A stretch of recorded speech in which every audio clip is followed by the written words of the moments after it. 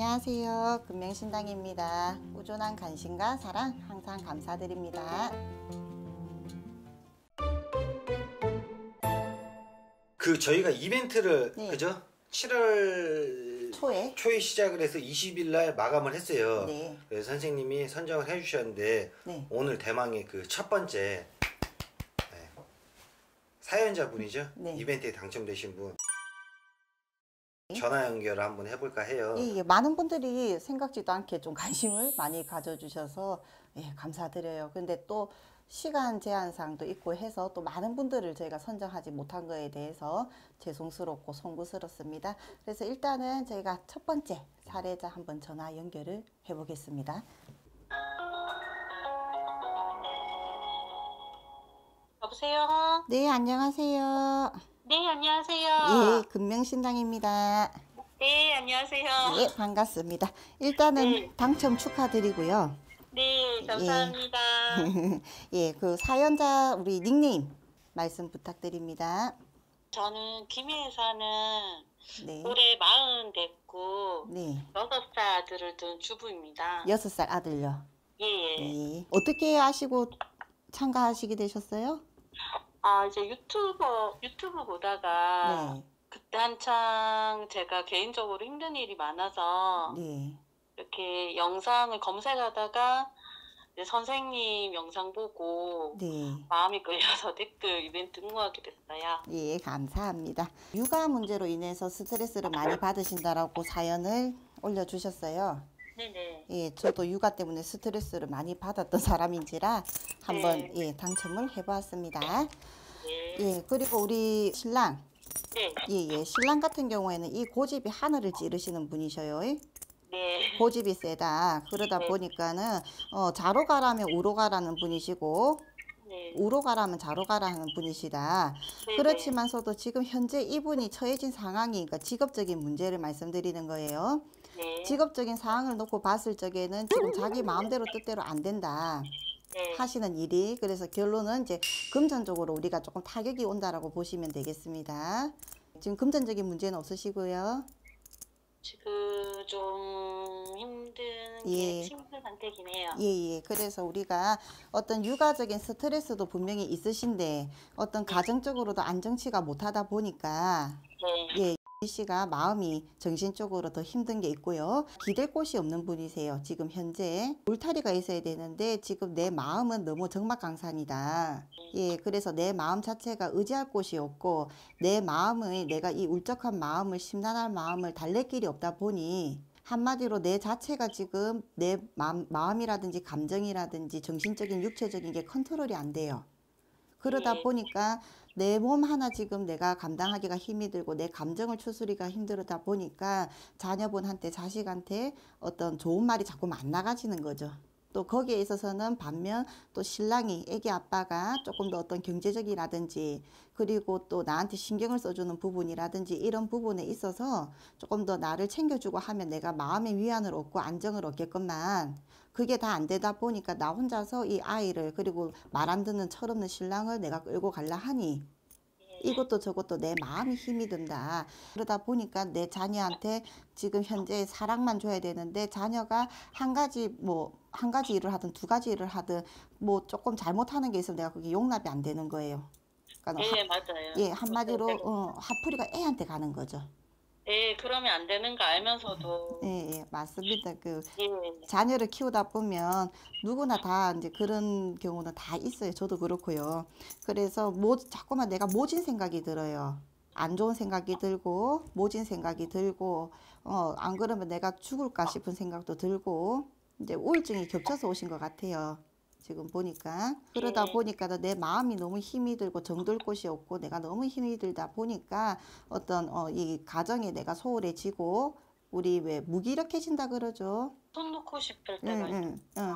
우리가 무리, 무기력해지듯이 지금 본인 마음이 아무것도 좋은 게 없고 아무것도 하고 싶으신 게 없으셔요. 그리고 또 내가 세상하고의 단절을 하고 계셨거든요.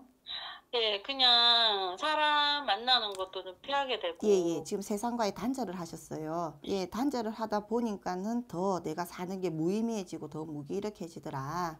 예. 예. 예, 그래서 자꾸만 우리가 긍정적인 생각을 갖는 게 아니고 자꾸 부정적인 부정적인 쪽으로 내가 가는 요소가 지금 요인이 조금 없지 않아 있습니다. 그리고 이 신랑 비율을 맞추고 살려면은 그러니까 신랑이 사람은 천심이에요. 원 마음은 천심인데 워낙 자기 멋대로 하려는 그런 고집이 있으셔. 그러니까 남의 말도 안 들으려 하고 좀 융통성이 부족한 편이에요. 예, 그래서 어, 네. 당신이 이렇게 안 했으면 좋겠다. 자기가 네. 이런 식으로 좀 해줬으면 좋겠다는데 그런 타협점이 전혀 지금 이루어지지가 않으셔. 그러다 네. 보니까는 뭐 점점 우리가 대화가 단절이 되고 신랑은 신랑대로 자꾸만 마누라하고와의 대화를 거부를 하고 피하려고 하는 거죠. 그래서 지금 부부 관계도 좋진 않다라고 보입니다. 본인이 술은 한 잔씩 하세요. 술은 가끔씩 이제 음. 너무 못 견디겠으면 예, 예, 그죠? 음. 그래도 올해만 조금 참고 넘어가셔 봐라. 네. 음, 한 가지 부탁을 드린다 하면은 올해가 사실 우리한테는 조금 고비입니다. 2년, 3년 전. 그러니까는 길게는 4년, 5년 전부터 이미 고비는 왔었어요. 두 부부 사이가. 그리고 힘이 든 게 4, 5년 전부터 힘은 드셨는데 올해 고비를 조금 잘 넘기고 지나가 봐라. 내년 고비수가 되니까 너희 신랑이 자칫 잘못하면 몸이 안 좋든지 이분이 술을 많이 드십니까? 위쪽이 조금 안 좋으시겠어요? 위장이 좀 약한 편이에요. 예, 그래서 내년에는 잘못하면 위에 천공이 생긴다든지 어, 그런 식으로 이분이 몸이 조금 안 좋으실 수가 있으셔. 그리고 이분 하시는 일이 사무직은 아니신 걸로 보여요. 예, 맞아요. 예, 그러다 보니까는 내년에는 이분이 자칫 잘못하면 사고수도 조금 들어와 있다. 그래서 어, 올해는 우리 두 부부 가정에 좀 문제가 생겨서 들어온 것이고요. 그리고 또 이분이 나름대로 열심히는 한다고 하시는데 어, 어떤 인정을 못 받는다 해야 되나. 예. 그리고 자기 스스로는 한다고 하는데 워낙에 지금 사회적으로도 안 좋지 않습니까? 경제가. 그러다 보니까 자기는 자기 스스로대로 짜증이 나. 예민해질 수밖에 없고 신경질적으로 자꾸 사람이 변해가고 어, 올해 고비가 지나가고 나면은 내년 고 내년 수에 들어와서는 신랑은 그렇게 좋지는 않으셔요. 아까 제가 말씀드렸다시피 사고수라든지 안 그러면은 위장 쪽으로 병이 올 수도 있으셔. 그렇기 때문에 내년 고비를 조금 잘 넘기고 나면은 올해 고비에서는 이제 우리가 부부 관계가 틀어진 게 내년 고비에서는 조금 전차 좋아진다는 소리가 나오는데 신랑이 몸이 안 좋든 다치는 수가 있을 수가 있으셔요. 그래서 사실상은 이제 내년까지 는 조금 그죠? 좀 조심하고 넘어가시고 좀 참고 넘어가시는 것 같으면 어차피 본인은 여기에서 이혼을 한데도 돌아갈 때는 크게 없으셔. 네, 맞아요. 음, 네, 크게 없으셔. 그리고 또 자녀한테 어떤 그런 상처를 또 우리가 줄 수는 없지 않습니까? 그렇죠. 예, 그러니까는 본인 마음은 올해가 지나고 내년이 되면 마음의 안정이 좀 찾아와요.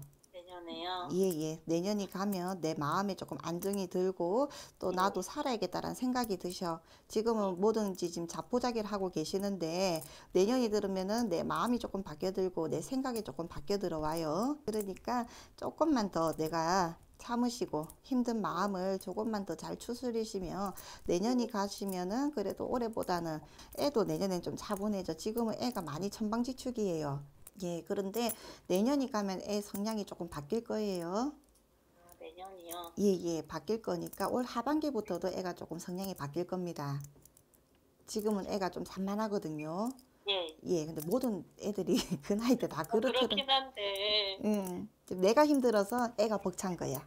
예, 맞아요. 응, 내가 힘이 들고 또 애가 이제 다른 다른 또래 애들보다는 좀 활동량이 많고 조금 별난 거는 맞고요. 예, 음, 그러니까는 또 얘가 잔병치레도 좀 했을 거예요. 예, 맞아요. 예, 예. 그래서 이제 엄마가 좀 어, 많이 힘들고 좀 손이 많이 가는 애였죠. 그것 예. 때문에 엄마가 더 많이 힘드셨는데 내년이 가면 애가 조금 차분해지고 성향이 좀 바뀝니다. 예, 예, 바뀌어지고 하니까 너무 네. 걱정하지 마시고 한 올해만 좀 지나시고 내년에는 신랑이 좀 안 좋으시니까 신랑만 조심을 잘 시키시고 하시면 네. 음, 괜찮겠다. 그러니까 조금만 더 참으시고 또 중간중간에 힘드시면 연락을 주세요. 예, 알겠습니다. 그래도 오늘 말씀 듣고 네. 마음도 새로 다잡고 열심히 해봐야겠어요. 예, 감사합니다. 네. 무슨 일 있으시면 중간중간에 연락을 주세요. 그러면은 또 마음 터놓고 얘기도 하고, 예, 예, 마음을 좀 잡고 갈 수 있게끔 예, 네. 노력을 하시는 게 서로가 좋을 것 같습니다. 네, 감사합니다. 예, 감사합니다. 네. 네, 네. 첫 번째 네. 사연자분 네, 이렇게 이제 얼굴 못 뵙지만은 네, 이 음성으로 이제 상담을 해 주셨는데 네. 좀 어떠세요? 이런 이벤트를 지금 시작한 취지와 네. 지금 첫 번째 사연자분과 이렇게 대화를 해보니까 음. 어떤 마음이 드세요? 좀 가슴 아픈 것도 있고요. 안타깝죠. 어, 안타까운 것도 있고 또 이제 제 개인적으로 이런 자리를 만들었다는 것이 다른 분들한테 희망이 될 수 있고 도움이 될 수 있다면 어, 또 좋은 거 아니겠어요. 재능 기부를 하죠 한마디로. 네, 네, 예, 이런 일을 또 앞으로도 하고 싶네요. 감사합니다. 네. 어, 문자가 하나 왔는데요. 뭐? 아, 방금 그 유튜브 당첨돼서 상담하신 분, 어, 제가 여쭈어봐야, 여쭈어 봐야지 했던 걸 다 얘기를 해주셔서 저도 모르게 열심히 들었습니다. 정말 감사합니다라고 하셨네요. 이- 이게 맞네요. 그럼 결론적으로는 네. 이 어떻게 보면 무당집이라죠. 무당집에 찾아오시는 분들이 네. 맞춰봐라 오시는 분들 많잖아요. 너 어디 한번 맞춰봐라 이런 분도 있잖아요. 근데 그거를 지금 정확하게 해주신 거네요. 그렇네요. 감사합니다. 네, 감사합니다.